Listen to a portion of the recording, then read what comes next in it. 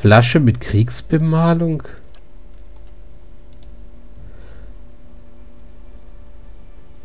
Die legendäre Kriegsbemalung der Ethik 0. Plus 15 Genauigkeit, plus 10% Schaden, plus 20% maximale Ausdauer für 20 Sekunden. Und viel zu teuer. Die ganzen Tränke sind hier allgemein ziemlich teuer, wenn ich das so sagen darf. Oh ja, und äh, es ist ein neuer Pitch rausgekommen, was ich ganz toll finde. Nämlich, wenn ich jetzt hier auf die Filtersachen klicke, dann werden die Sachen ausgeblendet und nicht mehr ausgegraut. Ja, ja, aber ich kann hier zum Beispiel mal das Goldrot Prim verkaufen. Mal kurz in mein Versteck gucken. Hm. Verzauberungstyp.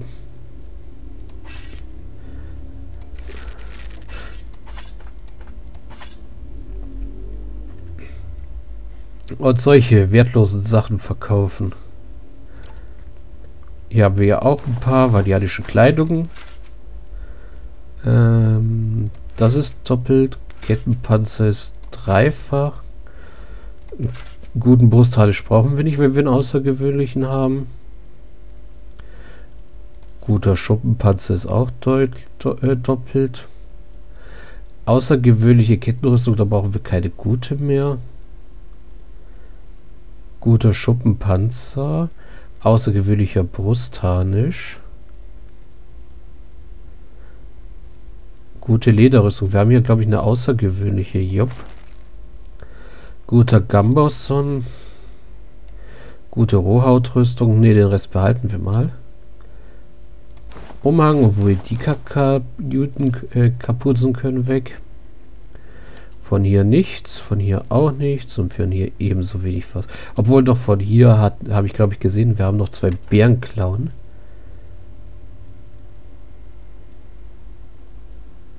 Und Haustiere verkaufen wir definitiv nicht. Aber ich könnte mal die Fackeln wenigstens drei Stück verkaufen. So. Also oft brauchen wir keine Fackeln und die dürften sich auch gar nicht so schnell aufbrauchen. So, das Zeug ist verkauft. Das heißt, wir können jetzt mal mit dem Oberdruiden hier reden. Wir wollen hier auf jeden Fall keinen Streit anfangen, auch wenn uns das komisch vorkommt, was hier passiert. Kammer der Blutopfer, Kammer des Feueropfers. Ah ja. Also die springen da wirklich in die Lavagrube rein, die Irren. Naja, sind die Fanatiker, die in äh, Trutzbucht rumlaufen, nicht genauso schlimm. Naja gut, die Zwölfen zum Beispiel machen nicht solchen Mist hier. Bittsteller, Bittsteller.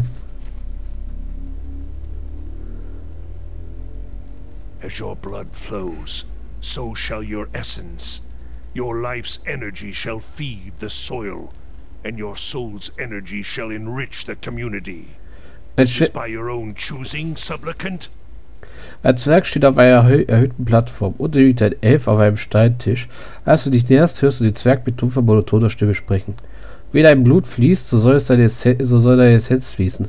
Deine Lebensenergie soll den Boden nähern, deine Sehnenenergie soll die Gemeinschaft bereichern. Geschieht es nach deinem eigenen Willen, Bittsteller? Ja, die Stimme ist, des Elfen ist hoch, aber fest. Der Zwerg ergreift mit beiden Händen ein Beil und hebt es über seinen Kopf.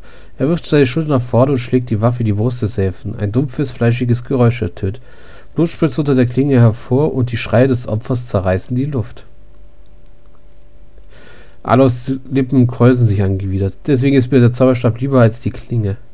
Trotz seiner eben abgegebenen Zustimmung windet, sich der, El windet der Elf sich auf dem Steintisch. Sein Oberkörper bäumt sich auf, während seine Arme und Beine festgebunden bleiben. Der Zwerg bereitet währenddessen die Arme aus und lässt zu, dass das Blut seine Robe bespritzt. Als er endlich still liegt, zieht der Zwerg sein Beil aus der Leiche und wischt es seinem Saum, an seinem Saum ab. Okay. Ströme rotbraunen Blutes und Gewebefetzen haben sich ihren Weg in die feinsten Rillen des Steins gebannt. Was sagen eigentlich so meine Werte? Ach ja, ich habe auch herausgefunden, was stoisch jetzt heißt. Das heißt eigentlich vernünftig und klug. Was Hagrim nicht ist. Also ist es gut, wenn der Wert auf 1 bleibt. Leidenschaftlich, ehrlich, also schlau, diplomatisch, leidenschaftlich und ehrlich. Wobei diplomatisch auch nicht ganz so zu Hagrim passt. Schlau, leidenschaftlich und ehrlich wohl eher. Also Hagrim ist definitiv kein Lügner, deswegen ist das Täuschen, was wir unten haben, schon mal schlecht. Aggressiv ist er manchmal, das gebe ich zu. Äh, deswegen sollten wir auch Hagrim ja. jetzt mit ihm hier reden lassen.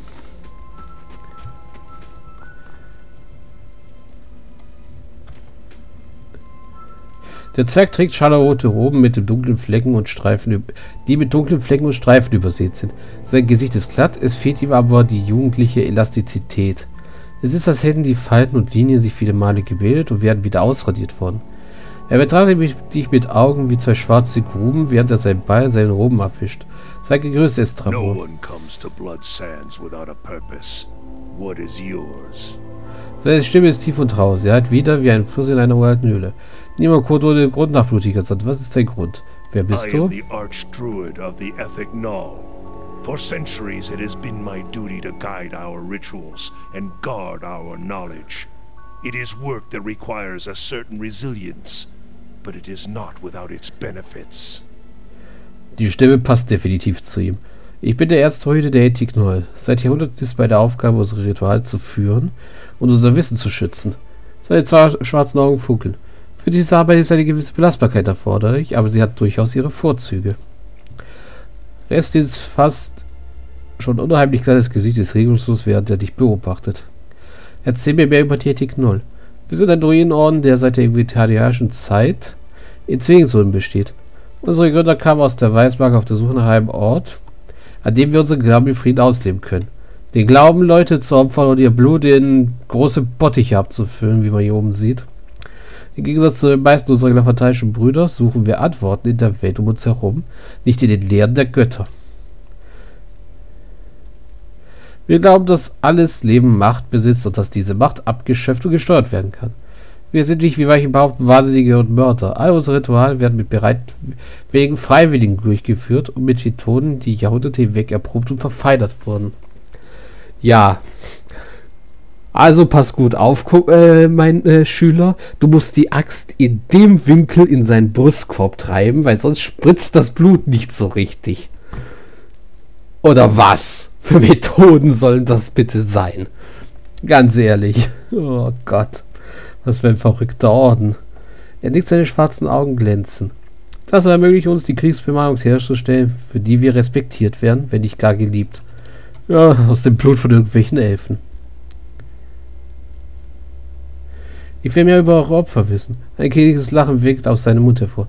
Wir glauben nur, dass die Energie, die freigegeben wird, wenn etwas Wertvolles geopfert wird, anderswohin umgeleitet werden kann. Es unterscheidet sich kaum von den Praktiken anderer Völker auf der Welt. Also so Dings, äh, Seelengedöns, was Medien machen und andere Seelenheinis da. Mir fällt, fällt jetzt gerade das Wort nicht ein. Wenn man die Erde pflügen, ein Schiff segeln oder ein Kahn ziehen will, muss man Energie aufwenden. Er glänzt seine Roben. Aber am bekanntesten für unsere gestandenen Opferungen. Sie sind die mächtigsten Opfer, die es gibt, weil sie die meiste Energie freigeben. Wir destillieren die Essenz einer ganzen Seelenruhe Macht, die den Körper stärken, die Seele kräftigen und das Leben verlängern kann. Yay. Was ist Kriegsbemalung? Eine besondere Salbe, die rohe Essenz an den Träger bindet. Sie verleiht im Kampf unglaubliche Vorteile und hat uns für die Stämme unentbehrlich gemacht. Was sie auch über unsere Praktiken sagen. Fast alle von ihnen haben unsere Kriegsbeherrscher einmal genutzt. Ein Lächeln macht sich langsam auf seinem Gesicht breit. Faszinierend, wie selbst der lauteste Widerspruch durch äußerste Umstände verstummen kann. Ich möchte gerne Kriegsbemalung kaufen. Ich bin kein Kaufmannszwerg. Sprich mit Hüt mit, mit Hüter äh, Vrada. Sie muss hier irgendwo sein, also mit Hüterin Vrada. Wie unterscheidet ihr euch von den Ovalen des Goldhains? Er kriegt sein trockenes Lachen. Goldener Hain? Ich weiß noch, wie Rona sich diesen Namen ausgedacht hat. Er blickt sich dunkel und schaden, er blickt dich dunkel und schadenfroh an. Er war einmal so grün wie der Rest des Waldes, weißt du? Wir sind uns ähnlicher, als sie zugeben. Wir glauben beide daran, Macht ohne zweischneidige Hilfe Götter zu erlangen. Aber ihre Fantasie ist das reine Erschaffen, etwas aus nichts. Sie versperren sich der Tatsache, dass alles Leben vom mächtigen Drachen bis zum kleinsten Grashalm den Tod erfordert. Und die größten Zwecke erfordern das größte Opfer. Ein interessanter Gedanke, ich muss darüber nachdenken. Manche Opfer sind einfach zu kostspielig, so funktioniert die Welt eben. Ich weigere mich, das zu glauben. Ich stimme zu, ich sorge mich, ich sorge nur dafür, dass ich das Messer halte. Ach, manche Opfer sind einfach zu kostspielig. Viel, viele stammen, stimmen dir zu und viele tappen von einem Leben zum nächsten. Leben eine vor Jahren und erreichen nie etwas. Ja. Mehr wollte ich nicht wissen. Resin fast schon unheimlich kleines Gesicht ist regungslos. Du hast diesen Mann ermordet? Er senkt den Kopf. Deine allzu einfache Moral ist hier nicht gültig, Estrabor. Mord hat damit nichts zu tun. It was a sacrifice, and one willingly entered into. The survival of all things depends on balance. Give and take. Der glatte Haut um seine Mundwinkel und Dank herum legt sich kurz in Falten. Er war, es war ein Opfer, das freiwillig erbracht wurde. Das Überleben aller Dinge erfordert ein Gleichgewicht, geben und nehmen. Dieser Grundsatz liegt im Herzen aller Macht. Wird etwas von Wert verbraucht, wird Energie freigesetzt. Energie, die kanalisiert werden kann, wenn, das nötige, wenn man das nötige Wissen besitzt. Er neigt seinen Kopf zu dir. Einige gestanden, ob sie sich eingestehen oder nicht, tun dies. Wir nehmen die Früchte des Landes und das Fleisch von Tieren, um zu leben. Und wir geben unser Blut und unser Schweiß, um die Dinge, die wir begehren, zu mehren. Ähm ja, ich verstehe schon, was er meint. Aber es klingt auch brutal. Ich verstehe, was du meinst. Also angreifen werde ich ihn nicht, so dummes Hagrim nicht. Ich meine, hier sind überall solche Hüter und Flammenfäule und alles mögliche. Und wir wollen uns auch nicht mit den Glafantanern draußen äh, verscherzen. Dann bist du weiser als viele andere. Diese Welt bietet viel Macht für jede, die den Willen und das Wissen besitzen, sie zu nutzen. Seine schwarzen Augen tanzen. Ich lade dich ein, unsere Halt zu erkunden und mit unserem Bittsteller zu sprechen. Man kann viel lernen, indem man die Opfer beobachtet, die andere bereit sind, für einen größeren Zweck zu geben. Vielleicht entscheidest du dich selbst sogar, ein Opfer darzubieten. Nein, sicher nicht. Er öffnet deine Hand und hält sie dir hin. Die Furchen und Dinge sind dunkel und braun. Nicht alle unsere Opfer werden in Blut geschrieben, aber die mächtigsten werden es. Kann ich noch etwas erfahren? Nein, dann leb wohl. Mhm. Also, kann mit Bittstellern reden. Ja. Ja, okay. Äh, verlassen wir dieses Irrenhaus. Ich war ja eigentlich zuerst der Meinung, der blutige Sand wäre eine Art Kampfarena, als ich das erste Mal davon gelesen habe. Aber nein, es ist ein Tempel voller Irrer, die sich gegenseitig opfern. Also okay, hauptsächlich sind es Zwerge, die andere Leute opfern.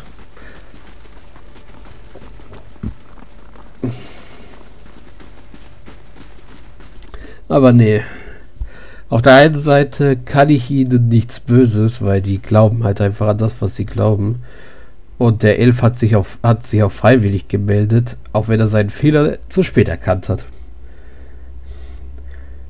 Da wären wir natürlich wieder bei der natürlichen Auslese. Die Dummen sterben zuerst.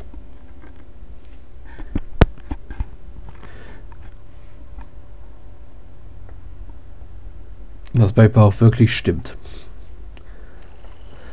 Äh, gut. Da wollen wir jetzt mal nach...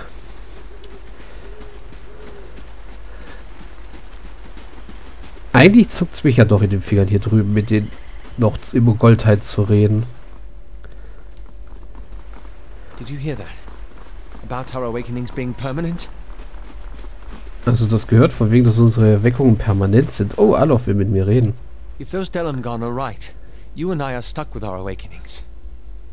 Not quite the news I was hoping for. Falls diese Delegaten recht haben, sitzen du und ich mit unserer Erweckung fest. Das ist nicht, nicht gerade die Neuigkeit, auf die ich gehofft hatte. Das bedeutet nur, dass wir uns darauf konzentrieren müssen, Taos zu finden. Sich Sorgen machen wird auch nichts ändern. Das betrübt mich auch. Ich mache mir Sorgen um dich. Wie, wie kommst du damit zurecht? Das ist ungerecht. Wir sitzen mit Erinnerungen und Persönlichkeit lang vergangener Zeit fest. Wenigstens sind das für einen von euch gute Nachrichten. Ist doch so Iselbier. Ja, wir tun Alof jetzt noch fertig machen. Also da hätte Hagrid eigentlich große Lust drauf. Ähm, das ist zu Palavi-mäßig. Es betrübt mich auch.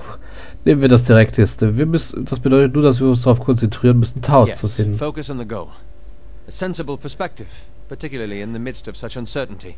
Er nickt. Ja, so konzent ja, konzentriere dich auf das Ziel. Eine vernünftige Perspektive, vor allem mit solcher Ungewissheit. And while I hate to turn the subject back to myself, this all has me thinking about Isilmir. I'm stuck with her now.